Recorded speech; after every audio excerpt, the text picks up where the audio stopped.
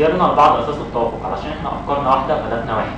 وعشان اشتغلنا مع بعض قبل كده في أكتر من مشروع واتدربنا على أكتر من حاجة وكنا دايما بنسعى للتطوير. وطريقه شغلنا ان إحنا بنحدد team manager لينا وبيقسم علينا المهام اللي إحنا هنعملها ونسلمها في ميعاد معين. وفي الميعاد بنتقابل وكل واحد بيضيف هو عمل إيه ونطور مهاراتنا ونستفيد من بعض. وكده إحنا بنقدر نخلص مشروعنا. في الوقت المطلوب مننا وكفاءة.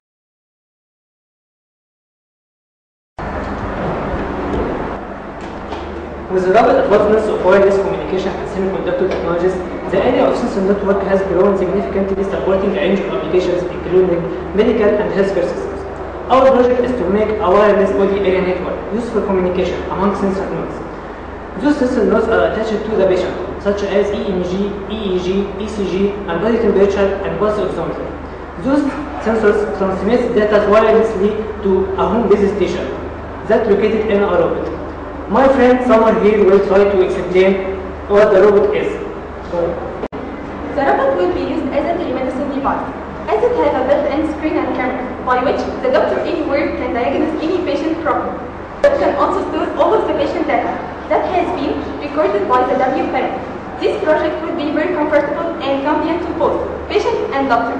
So it will help us to take one step further to the future.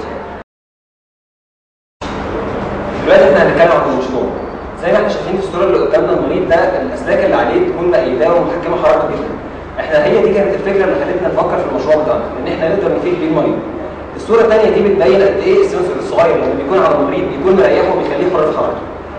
فعمل ال sensor دي إحنا بنعتمد على فكرة ال power consumption بحيث إن إحنا ما نضطرش إن إحنا نستخدم أي كهرباء من المستشفى إنما كل ده يكون ليها البطارية الخاصة بيها ده طبعا هيفرق وهيفيد عشان لو الكهرباء قطعت في المستشفى كان فيه مشكلة. زي ما للأسف حصل في إحدى المستشفيات وسببت كوارث كتير ال signals إحنا بناخدها من الالكترود بنبعتها على دايره ال processing عشان إحنا بنعمل فلتريشن وفلتريشن وريدي كونفرتر ال signals اللي إحنا خدناها بنسيفها على الجهاز الموجود بحيث إن هو يكون عليه أي تغيرات حصل في إشارات المرضى في 24 ساعة الأخيرة.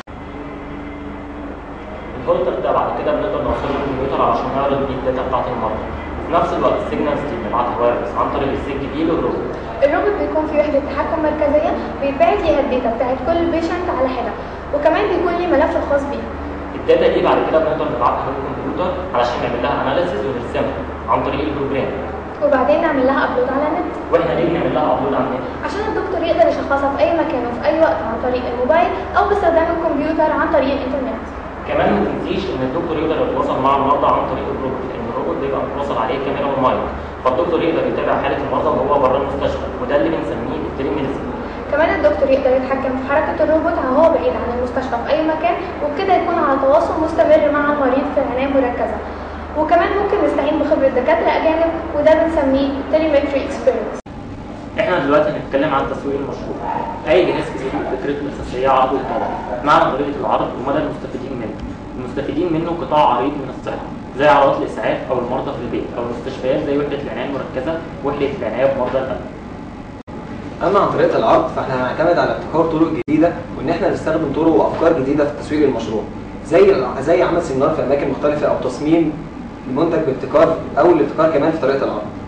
طبعا زي ما إحنا كلنا عارفين في تسويق الأجهزة الطبية لازم ناخد موافقه معظم المنظمات العالمية زي ال FDA وال IEEE وال CE وإحنا إن شاء الله نحاول نراعي المعايير بتاعتهم ون- ونطلع منتجنا أحسن تسويق بإذن الله.